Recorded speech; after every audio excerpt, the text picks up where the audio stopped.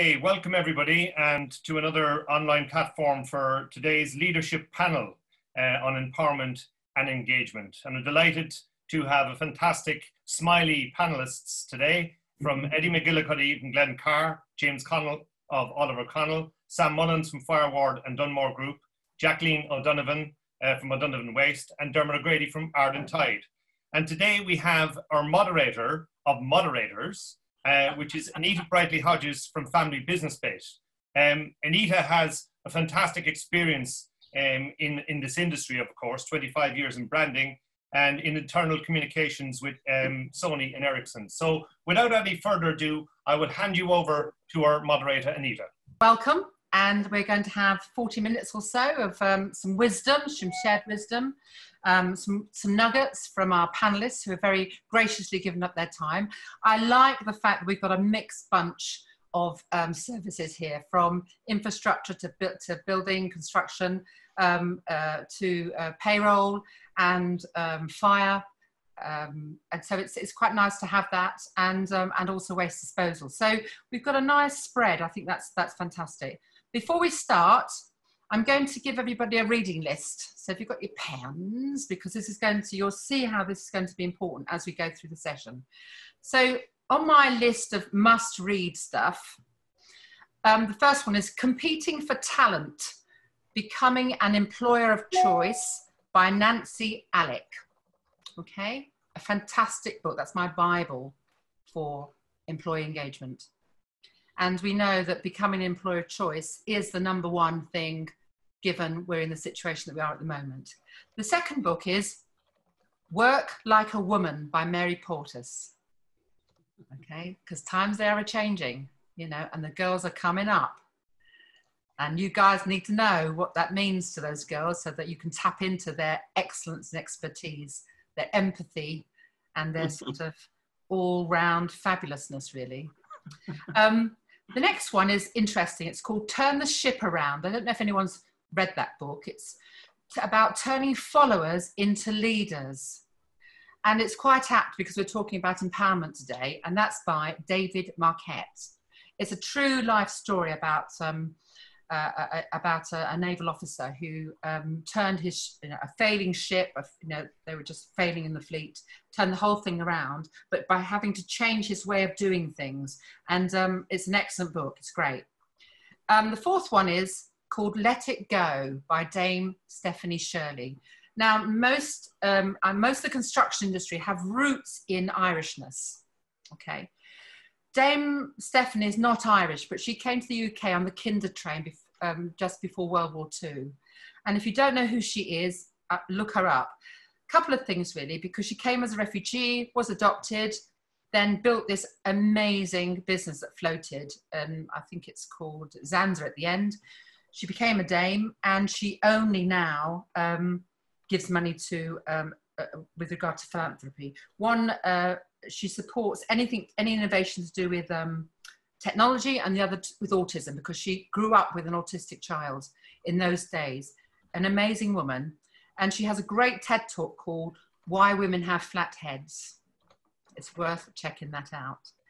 And then the fifth book, Why Brands with Purpose Do Better and Matter More by David Hieatt. Okay, because now more than ever, your brand is going to change and evolve like it has never done before. Okay, let's begin then. So the theme of today is about empowerment. Um, we're talking about what does empowerment look like in our organizations? Um, and given that we'd like to think that all our staff are empowered, what's happened with COVID-19 has really demonstrated whether or not we've got it right. Okay, because for those of us that have got it right, there's a different story to those of us who got it wrong. But there's no, there's no, no, there's nothing wrong with that. It's just the way things are, and the world is never going to be the same again. It's going to be changed forever. So we need to be open-minded. So what I really value in the panelists today is they're going to give us really their side of how they've dealt with COVID-19, um, their approach to um, empowerment. What does that really mean? uh, as opposed to engagement. Um, and then in my reckoning, there are three stratas. One is senior management. How are they empowered in your organization? Middle management. It's a toughie in middle management. Okay. And then those at the face.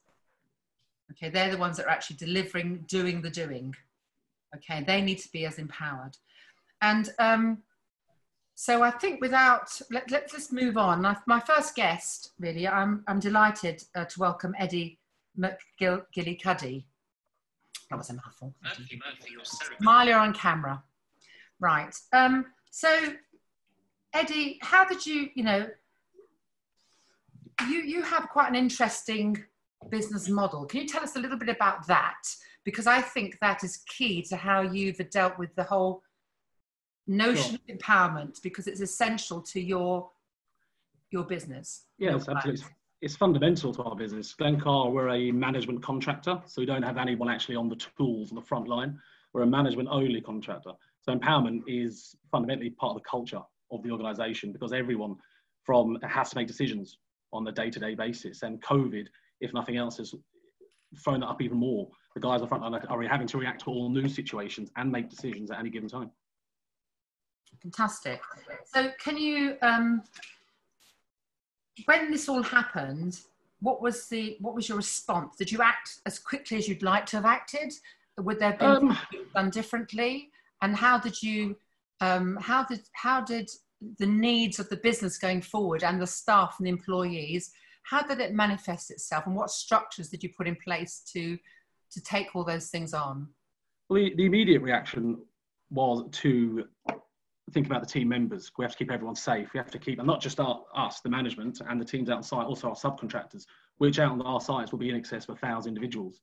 That was the first thing. So how can we keep people safe and how can we maintain the service we're giving to our customers? Ultimately, we're building some significant schemes for people like Ocado, Aberdeen Standard Investments. These guys want to see progress on their schemes, but not at the cost of the health of the employees. Um, we shut down the two central London schemes because we couldn't separate people, the sort of social distancing. We had to shut them down while we paused and took stock of the situation. Some of the larger industrial units we're building, we could maintain social distancing by bringing in additional welfare, bringing additional sort of drying rooms, we brought in additional labour to ensure people were adhering to social distancing. We brought in additional sanitising procedures, so on and so forth. So we've acted straight away. Do we? Will there, is there lessons learned? There's bound to be, but I think we're still in the throes of this. I don't think we're through it. So I don't think we can look back on lessons learned just yet. I think at the end of it, we'll take stock. Yeah, fantastic, fantastic. Um, and um, we talked um, previously about with empowerment comes risk. And um, it's all very well saying our staff are empowered, but what does that really mean? And are you the sort of leader that is okay with taking risk? What does that mean to you? What does it mean to your staff? And if something, if there's a muck up moment, how would you react to that? Because with risk sure. comes, well, you know, so perhaps tell us a little bit about that. That'd be fantastic. Sure. I think empowerment actually starts at the interview stage, doesn't it? Because it's at that moment you're having belief in someone and you're taking a risk on them. They're coming into your organisation. They're going to take make decisions the day the day they start on you. So the fact that literally our graduate trainees come in and they make decisions straight away. So we are fundamentally an empowered organisation. Do we take risks? You are taking risks fundamentally by employing people you have to believe in them, you have to empower them, and with that comes the element of risk. They will make mistakes. Everyone makes mistakes. Take the learning, acknowledge it, and let's not make that happen again.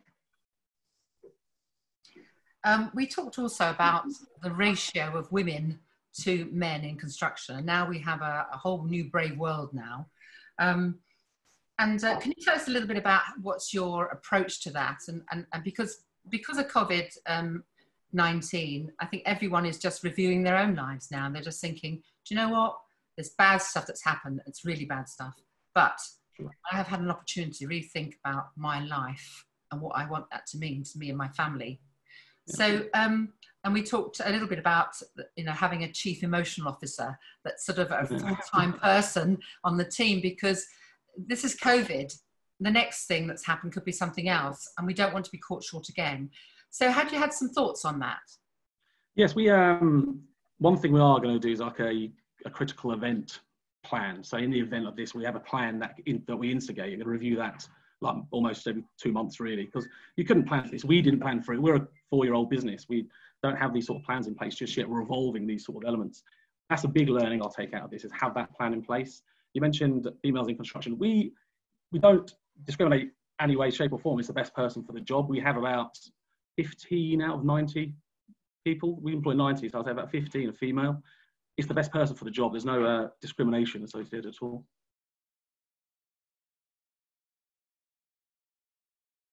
We're in construction. I get it. No, I get it. So, okay. So, um, what advice would you give to somebody? Because you have a brilliant um, business formula, this sort of um, sort of autonomy within the projects you have, which means you have small yeah. teams that are very, very, you know, they're very, very sort of hands-on and client-friendly and know what's going on, etc. And you give and you empower them, which is amazing. And you know, four years you built up a 40 million pound turnover business. You're doing something right. How amazing is that? What, what you know, what advice would you give to somebody? Because there are people that don't like to let go. They don't like to. They don't you have to trust. You have to trust your people. You have to identify, employ, and retain those people. So engagement is a massive one. Making sure people want to come to work. They want to make the decisions. They want to put their hands up when things are things to be done. So I'd definitely say it's people, people. Mm-hmm. Yeah. We've grown quickly, and the only way we've been allowed to grow is people and yeah. allowing them to take that autonomy out on site. We run our sites completely autonomous. There's no central buying. There's no central procurement the guys out on site make the, the decisions. So they feel that, um, and by virtue of that, they should uh, engage what's, and empower. What's the job? Oh, the teacher. Oh, besides, well, she has seven minutes strike. She said, let's go seven minutes. well, thank you, thank you so much, Eddie. And I'm sure there'll be questions that people ask about your formula and why why you've been so successful. And I think it's a really fantastic way to start to start off the um the um the session. So thank you for that. That's wonderful. Thank you. Um, my next guest is James Connell, MD of Oliver Connell and Son. Hello there, James. How, are you? Hi, Anita. Hello, everybody. Good, good. And um, what was so interesting for me talking to you? Yeah. Um, you're second generation. That's right. So you already know there's a particular way that um, your dad is he there? No, he's not. okay, then well, I go. Yeah. Um, that your dad and not just, but his generation ran their businesses. You yeah. know, can you tell us a little bit about what that was like? Because there'll be people here, uh, um, you know, the first generation in their late fifties, perhaps sixties, yeah.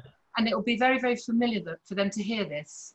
It was, um, it was quite tough working underneath them, to be honest with you. You know, they were very hard, but give you a very good work ethic and um, construction industry, when I started 22, 23 years ago, was, you know, it was a lot of barking, a lot of shouting, um, no such thing as empowerment. It was more just get the job done. And, you know, um, I think it's evolved and our business has evolved over, over the years. But yeah, for me as being the son, it was, um, you know, you always had to do a bit more. You know, dad never, would never like to see that he was giving me any favoritism. So I always got the, always got the crap jobs, you know.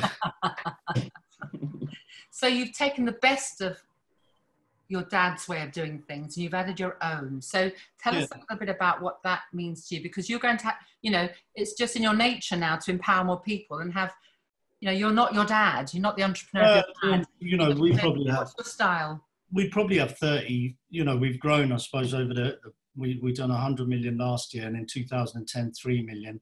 So you know, we before you'd ha- we'd have much more sort of hands-on with the guys on the tools and that. And as as the business has grown, I wouldn't see so much of it. So I have to delegate a lot of the stuff I used to do and trust people.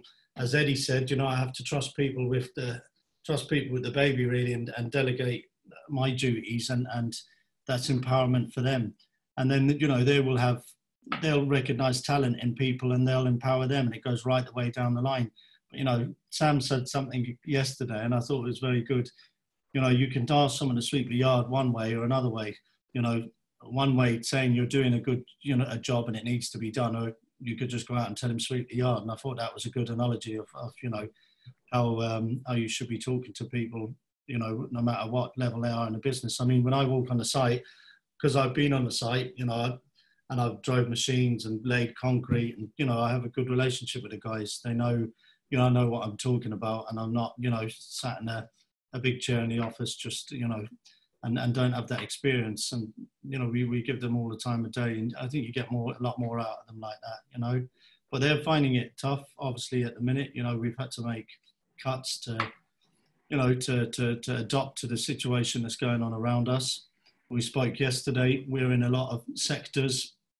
My Heathrow Airport business has just gone. You know, um, I've got no work there, but I've got other areas, sectors that I'm increasing and, and winning work. So you've got to adopt in this uh, climate, you know, and see, you know, recessions they're not bad for everybody. You know, if you can adopt and, you know, there'll be, we'll say there'll possibly be more social housing, less developers building homes, you know, so we'll be looking to sort of push that side of the business.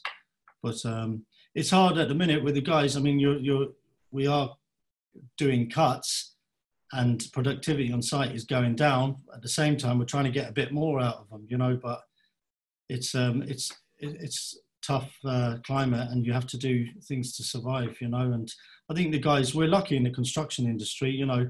There's we, I've had conversations with guys on site and, and explained to them, look, you know, there's people at home with no work you look at the hospitality, restaurants, pubs, you know, there's there's no construction is still sort of going. You know, we've slowed down a bit and productivity slowed down a bit, but you know, it's all for the good to keep people safe and that. And you know, they they understand that. It's a it's a matter of um, Thank you. you know, Thank adopting. you.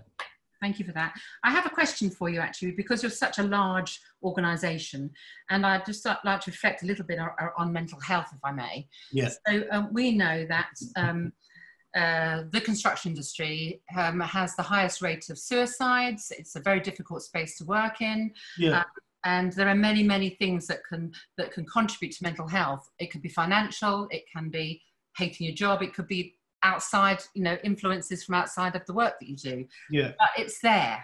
So, um, and it's been quite topical recently. So, can you tell us a little bit about um, what you have in place? Because empowerment we know that empowerment, if it's really coming from the heart and it's the root of the, um, the organization, it doesn't look like something and it has a huge benefit to your persona, Yeah. confidence. What structures have you put in place that um, where you've addressed those things? Well, a lot of our workforce are sort of migrating. You know, as the six, seven hundred guys we'd have, we'd have maybe two or three hundred that are with, with us regularly. Now, occasionally we'll have instances, you know, where we can recognise there's problems. You know, and as recently as last year, we helped people out with some addiction problems, and you know, they came personally straight to me, and we put them in the right direction, and he's and even contributed to helping them going away to to fix themselves.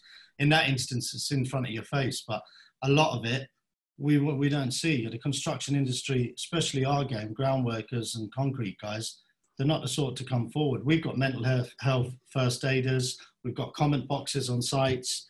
You know, for our regular lads that I know, on a two or three occasions I've spotted it, and you can go and talk to them, and you you know you'll you'll know them, and you'll know something's up. And on a few occasions it's it's it's worked, and you know the same with the guys below me. You know, in the chain of command, they've done that as well with people we, we know regularly. But it's still very difficult. I mean, a lot of our guys would be from Eastern Europe. You know, I said to you that to yesterday, and they would be even a bit more sort of how would you say it, a bit more, you know, slow in coming forward with mental health issues. You know, might they might see themselves or in their community or in their gang or in the the, the, the site as weak. I don't know. You just it's hard. It's it, it is hard. But we, you know, where we can see it, where we have seen it, we have tried to help people, and we have helped people on occasions. And there is people there like mental health first aiders. We've got a few of them, and we've got comment boxes, and people can come forward. But I would say there's a lot of guys out there with problems that I don't know about. So, um, a lovely friend of ours is um, Sir John Timpson. Have you heard of him? No. So John Timpson. So, when you get your shoes mended, Timpsons. Yeah. Right? Yeah? Yeah. Yeah. So, um, and the reason I think it's really important, mental health, is because you can turn that on its head. hmm So, he has a particular thing where, as part of his workforce, he goes into prisons, and you can imagine they are people with seriously bad mental health issues Yeah. but has found a way to get them out of that trap, and that's through work. Yeah. But it's a deliberate strategy to give them confidence and empower them to such an extent. You go to John Timpson shoe shop and each member, uh, each person that's looking after that has the power to negotiate to the tune of 500 quid on anything. Yeah. Right. So you could be an ex-con, you could be love that. Next time I difficult. I tell you, I'm not, I'm not joking, but it doesn't happen on its own. That's what I'm saying. He has a particular structure. So it might be worth looking at his structure. It's called the upside down management. Yeah, Okay. And um, he's opening up a university at the moment for management, but he's really taken that, that huge, um, that huge cohort of people that feel as if they've got nothing, you know, got nowhere to go Yeah. and turn that into a thriving business. So, Yeah. You know, I think that's worth that's worth commenting Thanks. on. I'll It's have a good look that. Yeah. Well, thank you so much for your time. That's wonderful. Thank you. please. And well done. And you've got such a big challenge. You know, you've got so many staff that Yeah. that, that you are responsible for. So, you know, keep up the great work. I will. Eddie might give me a job. I can keep another few of them busy. huh? okay, thank you so much. Um, our next guest um, that we have here is is um, a money man, the figures, the one we really, really trust, the one that has the silver bullet. Not. um, oh, oh, hang on a second. Hang on a second. We've Oh, got a poll. For me. I was getting I missed that. I've got it's over your face, Dermot. Sorry, we've got a poll here now. Can everyone see that? Is there a difference between being engaged and being empowered? Yes, no, not sure. That's a really interesting question. So, shall we give that? Um, one, one ends up in got that. marriage, so there could be a slight difference there. there is- yeah, okay. We just like to know that for everyone that's joined us. Empowered and engaged. Easy one to mix up. Okay, thank you for that. Um, and then we're going to have another question um, afterwards, and then then uh, then we're going to find out what, what the figures, what people really think about things. So, welcome, Dermot. Um, my question to you, really, uh, I thought people would like to know is that you um, work a lot with um, self-employed, you know, uh, businesses that have a lot of self-employed people, and there must be trends that you're seeing, and not notwithstanding the fact we've already got problems with um, with Europe, you know, and so that's going to affect our ability to to have people over from from Europe, etc. And also with this COVID nineteen, um, where cash is king, but we have to be mindful of of what we do with that and how we look after it. And I thought it'd be quite nice if you shed a light on some trends you think might be having an effect on um, on, on the construction industry at large. Yeah, I mean, interestingly, over the last number of what nine, ten weeks now, there's been a lot of changes, which I think anybody engaging ops, even outside construction, a lot of businesses have just gone to zero um, because they just have to shut, and quite a few have managed to keep going. I know Eddie is is one type of work he's working on. There's a, there's a few things for me. It, it's this is all we all know how strange it is, but it's kind of like a game where you're maybe start off playing rugby. The whistle goes some stage during the game. The rules have changed, and whoever's going to be the quickest to adapt to the new rules, make up the game, and take it to, to, to wherever it needs to go. So, it, it you know, I, I did a quick in advance of this call. I spoke to quite a few companies, and those ones who managed to muddle through with their numbers largely intact um, the efforts they went to and their people they went to, you know, it, it's down to what the people did. And you've got those companies who didn't cut wages and they were able to get keep going at, at, at any level, even at director level. And then you've got companies who, let's say like James, because you're on the formwork side of things and you're working in maybe pairs, they've had to cut and maybe I think James about 10%, but the industry on average in formwork is about uh, up to 20%. So you're, you're kind of getting this, depending on who you're working for, they're unaffected at this stage. And then you get people who are, um, who are deeply affected because cutting somebody's income, whatever level that by 40% is pretty savage. And I think Diane, you have a slide there that I gave earlier to put up, which indicates essentially our numbers. You can see it was like during March, it was pretty much weekly, just tipping along. Then it dived a little and then it really dived. And then you can see a few weeks ago, um, three or four weeks ago, it's suddenly tipping up steadily. So that, that kind of reflects, I suppose, everybody would be somewhere on that with the flat at the top and the left being, well, we weren't really affected. We worked through to right down to the bottom. Have we started back? Can we get back? And it, it, it really is, um, you know, quite stressful for people because there are people who do the work don't necessarily want to go to work. They're afraid to go to work. And if they have to travel to work, then they've got to be in an environment. So the whole thing is going to be, a, I feel, a massive shake-up as to how we're going to be interacting. It's like within three days, we, we all went working from home because of IT, but equally other businesses haven't. And then you've got the furloughing, which is masking the reality of unemployment because there's a lot of people when they go back won't be going back to a job. So it'd be great for the likes of Eddie and James and other companies, maybe Sam and Jacqueline, if, if they need people, they'll be able to get good people. Um, so look, yeah, winners and losers. Yes, thank you for that. I mean, that's a hard lesson, but you're absolutely right. Um, and and also there is this um, there is this notion, isn't it? The way we behave and the way people behave towards us will inform the way that we'll do business in the future. So the way you let your staff go will affect really whether or not they come back to you later on when you need them you know so our value sets are changing now and and um, I, I, think this is something that perhaps um, uh, the, the, management teams it would do them serve them well to revisit their values because this is the new norm it's not going to go away you know, at the end of the day you know we're responsible we're leaders, we, we hire people, but there are lives, aren't there? They're at stake and there are people's livelihoods. So yeah. maybe there's a big, bigger discussion about how do you keep those people mentally sane? Do they retrain? Do you retrain them? Are there positions within the business they can retrain for?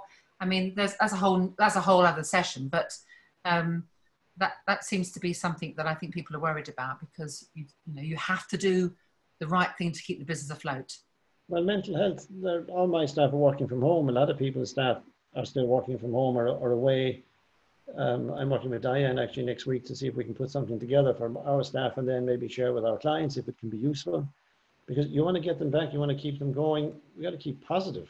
I mean, there's so many opportunities here. Even if you say in the city, thousands of people aren't going to be going into the city to work, half of them from home well, that's great. Once this settles down, you'll have half more office space for more businesses to locate a head office in the city, which is great. Or you might find we've got an excess of property for commercial that might end up coming residential. So the city becomes more of a natural, relaxed place that people want to live. So you can see a lot of, you know, a lot of great things are coming out of this. You know, a lot of people who've had downtime, they're able to think about their lives where they're going, work more efficiently, like people aren't having to get in their car, go to meetings, they can do a Zoom call all that saves time and the quality of life, which, you know, I know I was to James on that. Um, and that that's like, there's a half an hour here, an hour and a half there a day, a few hours a day. You've suddenly got, you can do more, do more things. Yes, thank you for that. And um, and I think that really raises the question around ethics as well, doesn't it? Really, you know. And um, we'd like to think that with you know with extra time, etc., then we can um, we can find different things for us to do. And perhaps we need to weave that into our culture as businesses so that we can um, put more resources to understanding this ebb and flow and being more helpful, etc. So, but thank you for that, Dermot. That, that was wonderful. Thank you very much indeed. Um, oh, right. Okay. So 94% of people said there was a difference between being engaged and being empowered. Only 6% no, but certainly yeah, well, that's an interesting. That's an interest. It would be quite nice to get some of these um, thoughts coming up through the chat. So thank you for that. That's great. Thank you. Thanks, Dermot. Cheers, Anita. Okay. All right then. So um, I think I think um, the, the next speaker actually is. Um, well, I'm really glad that she's here because um, she's gorgeous and glamorous and a woman. But um, and one of the reasons I put um, this book, "Work Like a Woman," I think that um, she's a wonderful leader, exponent, um, and I'd love her to just share what she brings to the party as a woman because I think because so many there's so many men in the construction industry there's so few women that take leadership roles but they bring something different. And I'd asked everyone on your boards how many women have you got? You know might be super thought you know um, of, the, of your of your employees and if you're going into different areas of business could they make opportunities? So without further ado Jacqueline welcome Right. Okay. So when this thing happened, you know, everyone was looking at you, thinking, right, what is she going to do next? Because if she can't hack it, then there's no hope for us. Um, so can you tell me what it was like as soon as this hit you?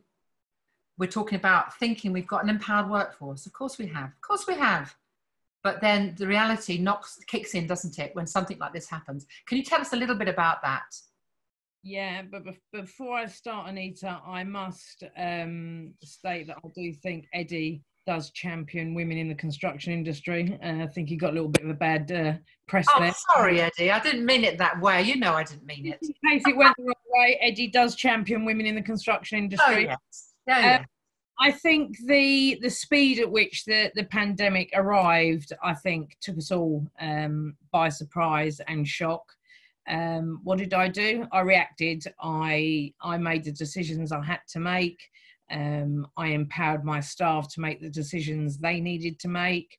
Um, we immediately had a management meeting to decide right what's the biggest issue and for us being in the waste industry um, Dan will be happy about this our biggest issue is fire so we had to maintain uh, the levels of waste that were in the uh, transfer station. So that was our biggest uh, thought. We have a disaster recovery plan in place. Uh, the only thing that let us down was our phone system. So that kicked in and it worked. Uh, and would highly recommend everybody to to have a disaster recovery plan. Um, obviously, we didn't have one for a pandemic. We had one for a bomb, a flood, a fire, but um, it, it, worked, so that was good. Um, I think it was very early on for me. It was um, quite quite obvious that mental health was going to be massive. Um, we've we we do an awful lot around mental health, addiction, that type of stuff, uh, in the construction industry, it's four times uh, more likely that someone will commit suicide than uh, in the UK standards. But the uh, Chartered Institute of Builders said that 84% of stress in the construction industry was caused from lack of involvement in the decision making, which I think is a massive number. Um, so yeah, uh, you know there is a difference with giving someone the option or or empowering them um, and I'm a firm believer in sharing the knowledge uh, as as many opportunities I can get to go out to tell people how I do it, why I do it. Um, I'm there. Okay, so would I be correct in in sort of uh, from what I can get from what you're saying is that it it's it makes sense to have um, as part of your um, business strategy when you're looking at people and HR, etc. There's the concept of empowerment. You have to have a strategy for that. You have to be trained in that. It doesn't. Not everyone feels they can be because they don't have the confidence. So it, it's uh, people will be at a different level. You know, there's one thing making decisions, but there's other things making decision, decision understanding what risk is, um, but still making decision and feeling good about it and knowing they're working with, with a business that understand that if they get it wrong, they're not going to have their you know they're not going to have their throats cut but that that but they can learn from their mistakes. So it's a culture change. Yeah i think i think it is. and, and i've got to say i think every single person can be empowered um, with the right coaching uh, with the right tools. Um, you know you can teach someone how to look at risk what risk looks like. Uh, you can have the conversation with them um, that okay uh, I, throw you out a scenario. What decision are you going to make? They make that decision and then i say well why have you chose that decision not this decision? And and actually talk through with them why i agree or disagree and why i would have chose the opposite or why i would agree with them. And and having that debate and it is only a debate and there's no harm in having debate is is absolutely massive. And i think everybody can be empowered. Um yeah i i don't see why not. And i and i do what i can to empower not only the staff but anybody i meet in life because why not? You know my glass is half full. Absolutely absolutely. And there are great people out there that will do um, training in, in empowerment, but also this this whole idea of role reversal. Because then, you know, if, if part of it is role reversal, then you then you get to appreciate risk, and and you you get to be in someone else's shoes.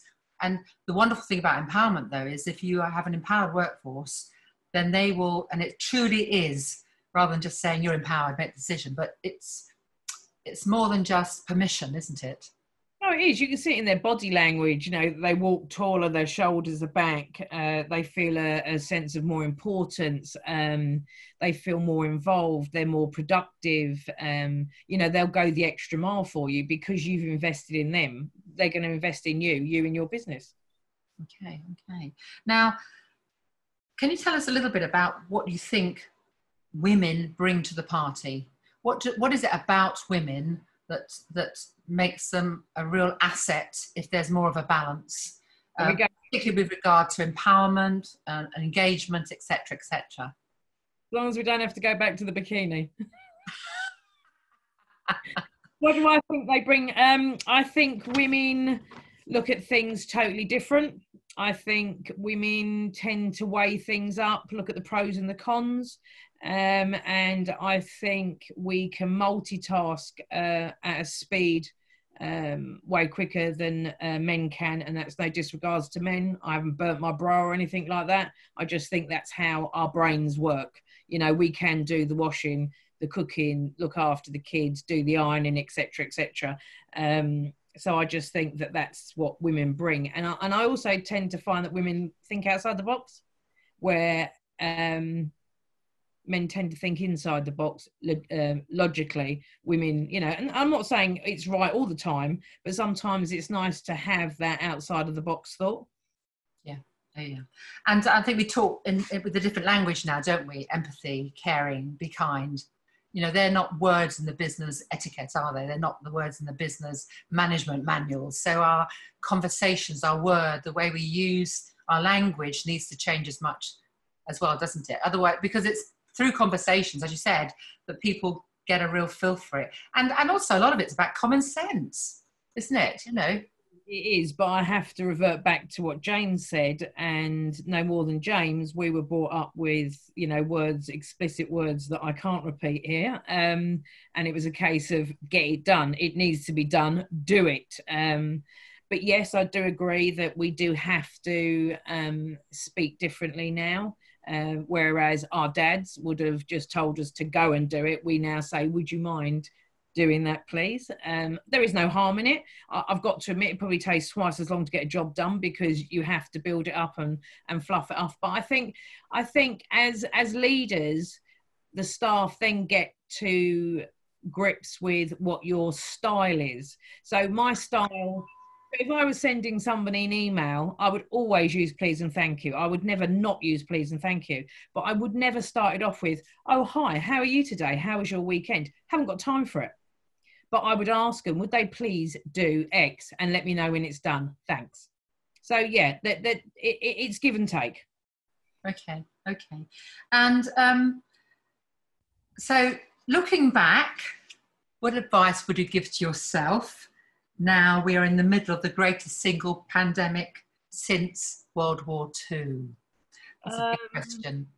Why didn't I marry a multimillionaire when I was in my 20s and live in a, in a big mansion and not having this hassle? Um, what advice would I give myself? Uh, I wouldn't actually. Um, got to be honest, did feel the eyes on me at first, felt like a goldfish in a bowl. Everybody was watching me. Um, I was getting phone calls from all sorts of people. I'm dealing with all types of anxiety from directors within the company to um, labourers. Uh, they all seem to be heading my way. I haven't got a problem with that. Can be quite a lonely place, uh, making all these decisions on yourself. Uh, the only thing that's failed me is my phone system, uh, which will be rectified ASAP. But yeah, I think I think on the whole, and in particular the construction industry, I think we've done a sterling job in the time we had, which was practically overnight. Yeah. So for you, it's like there's only one way. That's up. Yeah. Only one way is up. Absolutely. Thank you so much, Jacqueline. Very welcome, you so much. It's wonderful to have you here. Um, I think we have another question, don't we, Guy? Aha! Have you ever asked people, your people, if they feel or think that they are empowered? Now that's very interesting because, you know, do we know what it even means? And so we're talking about language just just now with Jacqueline. So that's quite an interesting question.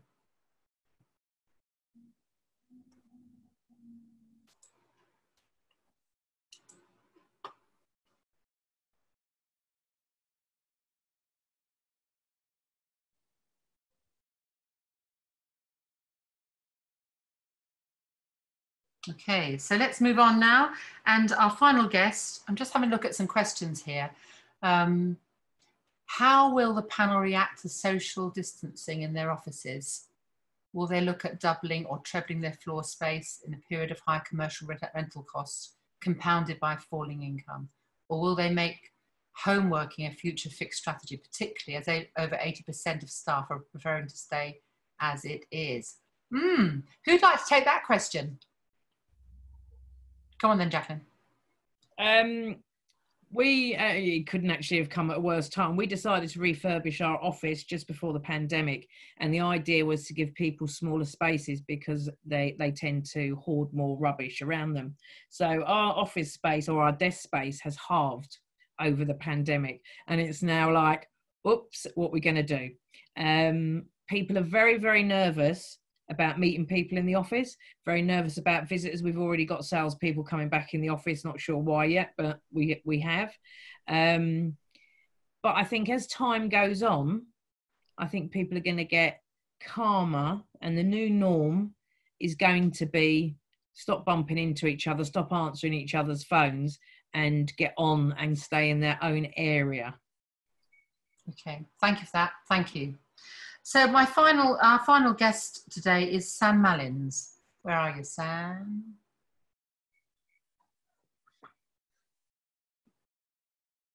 Here I am. How are we doing? You're I'm here, muted. you're here, you're here. the man with the Yeah. beard. That's right. That's what I remember. And a great map of the world behind you. Welcome, Sam. It's brilliant to have you. Thank you. I'm Thanks. going to throw, uh, first of all, I'm going to throw a little thing at you. You are a millennial.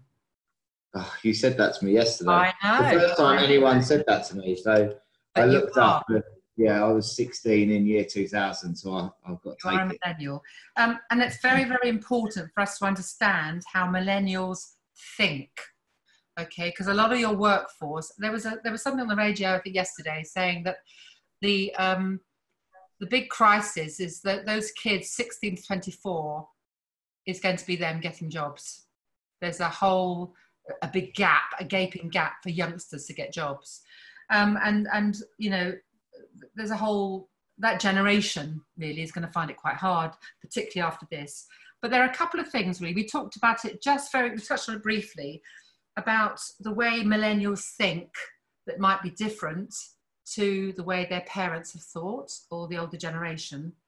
Um, and how you, and we talked very briefly about this integrating life work situation.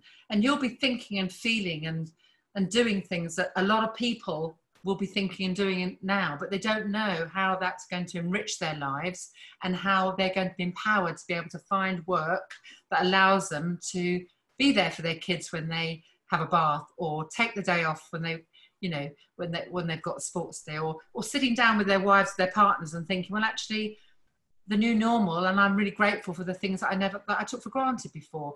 Perhaps you can give us a little bit of um, insight into how that works how that looks or how that feels for you as um, first of all as a, a human being and then really the empathy you would have as a leader with um, with with how people feel about the new norm Yeah, so I think as for me personally, um, pretty much like what James was saying earlier, you know, I've, I've grown up um, in business from a very young age and um, it's all always it's all I've been on site, drove the diggers, and come come right the way you know come right the way th- up through um, sort of on the labouring side, and I didn't I've never really appreciate really appreciated really until the last couple of years about what you just said. It was very much a case of you know let, let's work 12 hours a day, let's finish late. You know if, if, if people are going to work for me, they need to be similar.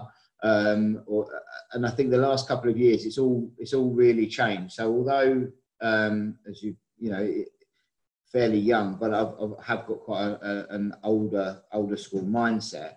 But that's something that can't, um, you know, it, times are changing as we've said, and it can't carry on. Um, there was there's a, there's a, fantastic book I read end of last year um, called Outrageous Empowerment, and it's, what, it, what it's really what's really interesting if you can um, relate very, very quickly to is you look at Silicon Valley.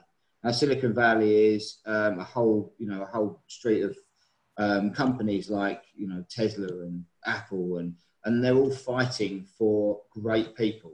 Now, arguably, those great people could probably work for any of those businesses.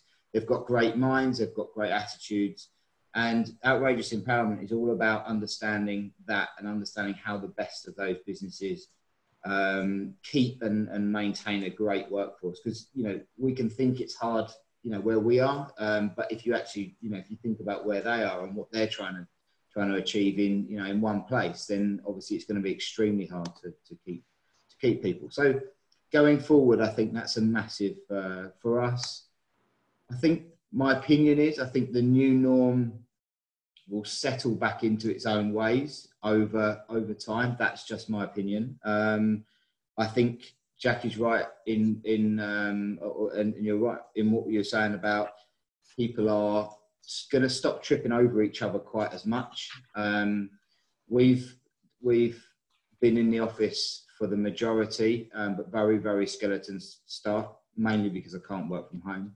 Um, but you, you see it, people are starting to kind of get a bit relaxed, and we've got to you've got to remind people that this is uh, you know this is a serious uh, serious issue. So yeah, I think the the new norm I think will um, will be interesting, but from a uh, from from from empowering the staff, and again, it's empowering the staff to make a to make the right choices around what's going on in in the world. We had a we had an issue on on site with one of our drivers this week that's obviously been working through and he's he's been he's he's taken his foot off the pedal and he's walked up to someone on site and asked them a question and the site only went back on Monday. So you know they're like frightened and so it, I think it's very much a case of a, a, a regular repetitive message um, to empower people to do the right thing at the moment. So that's a cultural change, isn't it? That's sort of yeah. we have to live that, don't we, every day. It's not something that happens and part of the training scheme. It's sort of this is our culture this is embedded into our values now going forward yeah that's right okay so um, another thing we did talk about a little bit and I, and and it's not you know it doesn't reel off the tongue very easily in this particular industry but my question to you is how does empathy affect empowerment do you think i think it goes back to what um, james touched on earlier i think empathy is understanding what that person's feeling at that time. Um, and it's, for me, it does go back to that um, sweeping the yard scenario. There's two, well, there's multiple ways of asking someone to do it. But as I said yesterday, if you, if you ask someone to just go and sweep the yard, no one's going to want to do it. But if you explain to them that, you know, that, that, that one of your best customers is turning up, this is the opportunity the company's going to have, this is what you may end up out of it, you know, and, and, and sell them the longer term dream, then they go from not wanting to to actually maybe not they're not going to run out the door with a broom, but they're actually a part of them is going to want to do that and want to do a good job for the business. So that I think is a big a, a big part of for me that that's what empathy and empowerment means. Um, I think what you yeah I think that's um, that's what it means without going off track too much. No, no, that's, that's perfectly fine. That's great. I mean, I guess empathy could be seen as, you know, walk a mile in my shoes. You know, then when you know what it's like for me, then we have empathy, don't we? You know, and I think that's a that's a very very strong driver for modern leaders to empathise with their people more. So they can really then It get is, yeah. out of them, you know. Yeah. And um, and it's it's a bit like, yeah, I get it, I get it, I really do, you know, I really do.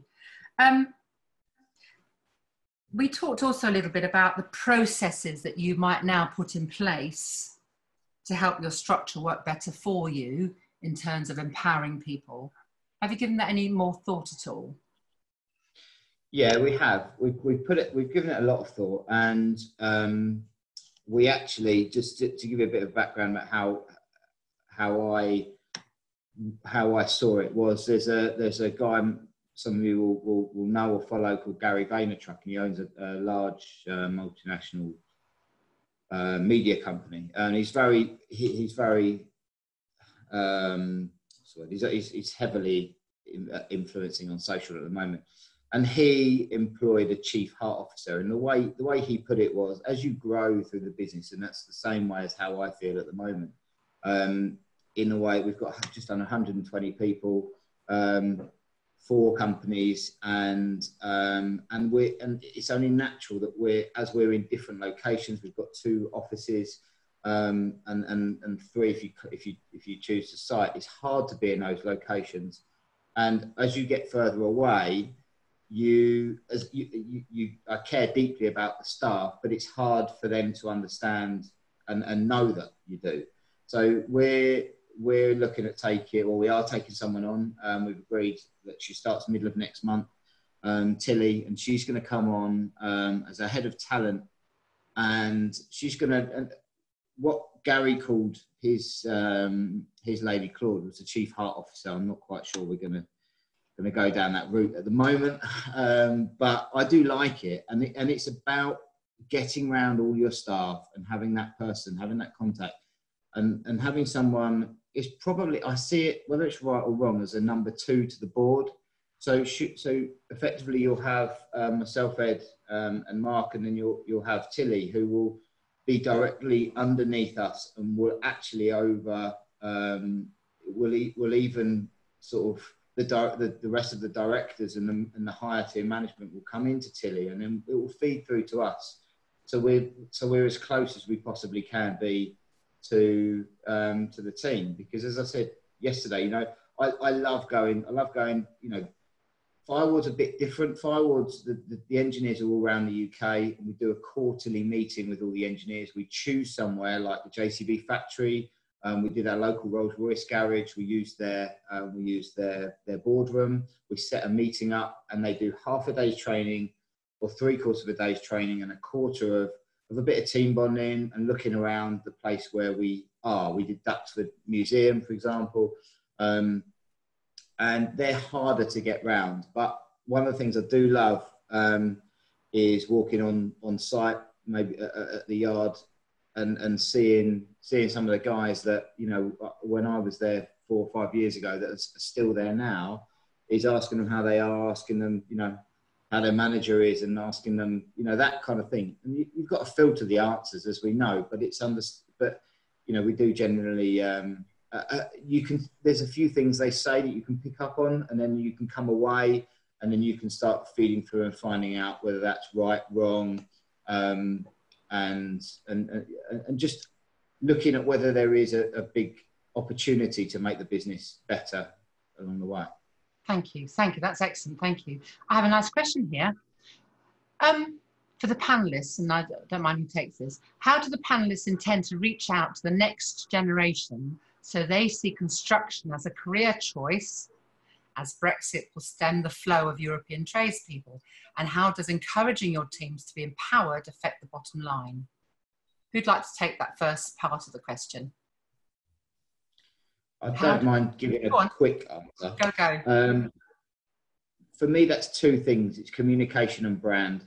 Um, it's quite, it's quite, you know, it, it, the brand is about people understanding the company and who they want to work for, and communication is the outward and it, is the leadership. And I've put a bit of effort into it over the last few months. Sort of not, it's not my nature, but put, people have probably seen it on LinkedIn, doing a few um, videos and bits and pieces, and it's it's about people wanting to work for the people that are lead are leading the business and and and the rest of the team um, within the business. So, but a big thing for me is brand. I think there was a um, something done recently, and it's quite surprising what companies people want to work for because of okay. the brand rather than the, the industry.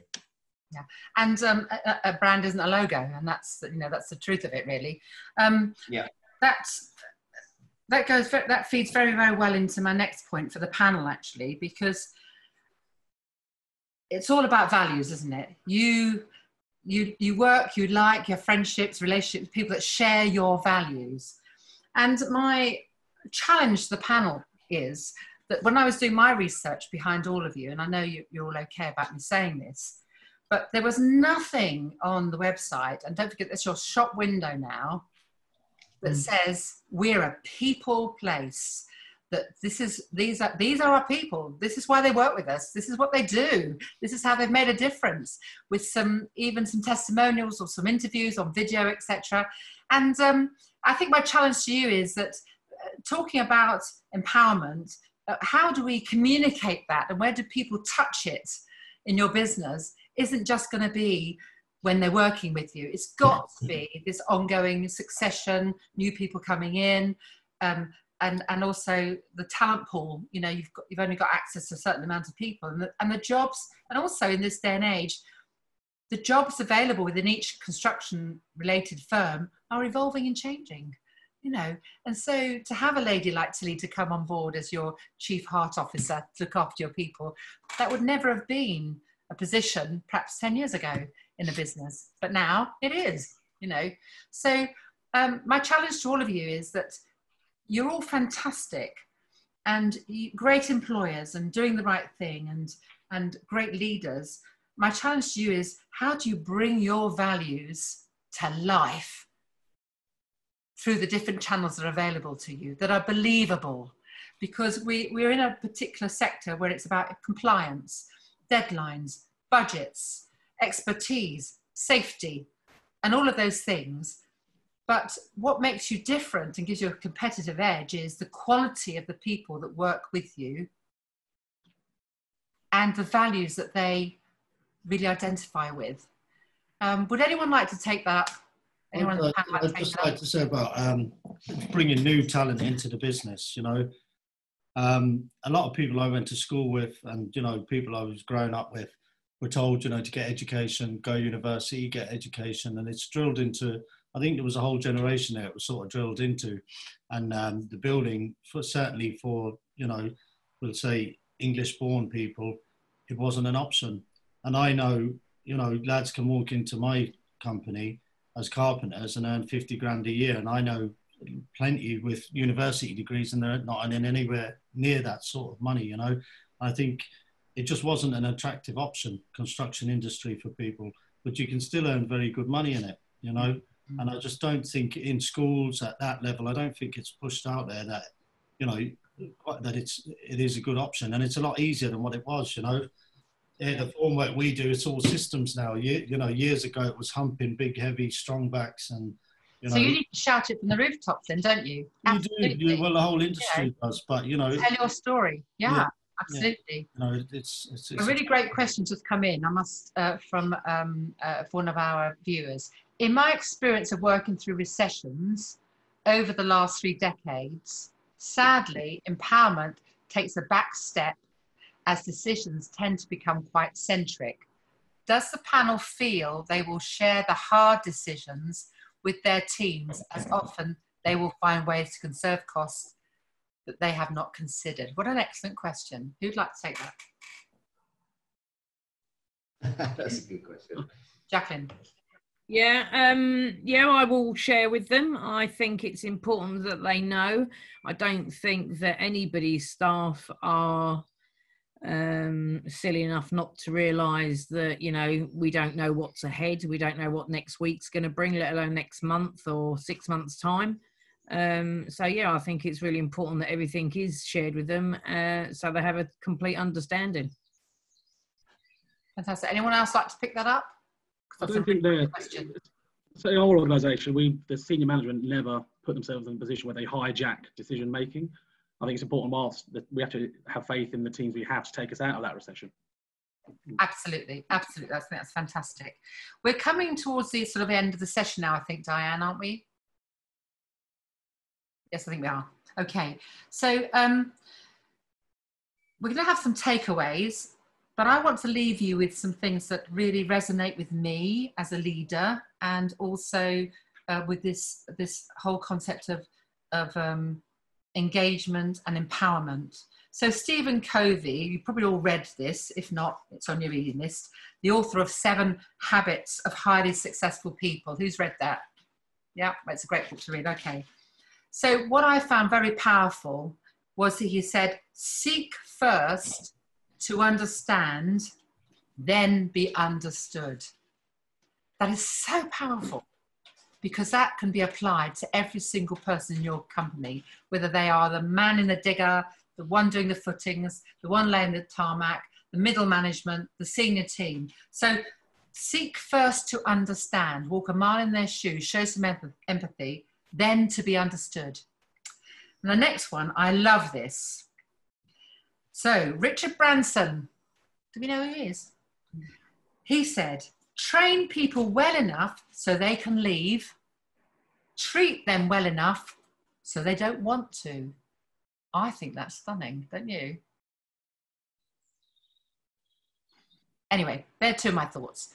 But um, I just want to say, wow, what a great session this has been. Such wisdom in this room here, and wonderful ages, and and and you know, um, got a girl. That's great. Two of us, fantastic, and the team so wonderful. Thank you so much for being so open and for sharing your your thoughts because I think that's going to resonate really, really, you know, resonate so much with all the people that have come come in. And and I hope there'll be some questions that people will keep be thinking about and keep sending them in um, uh, to to BITA because and then feeding them out to yourselves. Um, I'd like I'd like Laura to step up really now and then perhaps give us or Paul have a you know what are the takeaways do we think that we can take away from today? Paul perhaps it's it's over to you. Well the firstly um, what i'd like to do is i'd like to balance everything and say boys it's great to be boys you know? Well um, fantastic. Well done. You haven't got assets like us. The, the other takeaways i mean one of the major takeaways from this is this is a leadership panel um, that has been together now over the last few weeks. And one thing for sure is um, consideration is a great takeaway. I think a lot of people, the conversations we're having um, are full of calm.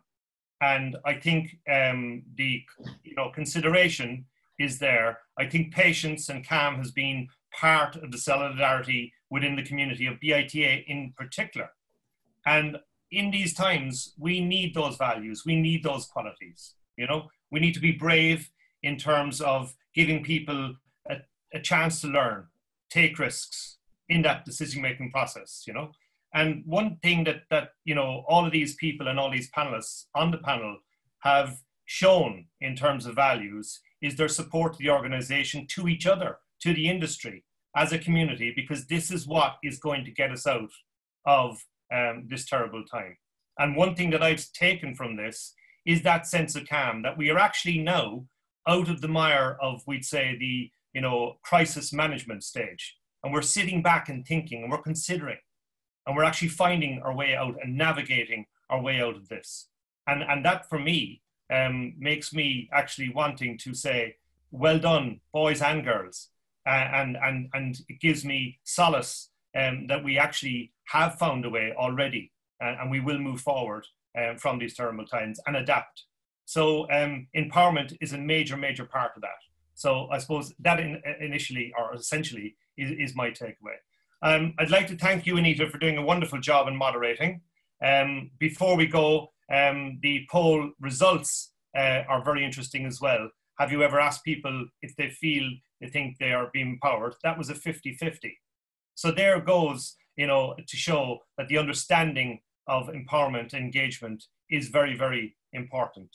You know, so thank you all for the panelists, Eddie, uh, James, Sam, uh, Jacqueline, and Dermot O'Grady. And we look forward to seeing you all again um, on the BITA platform very soon.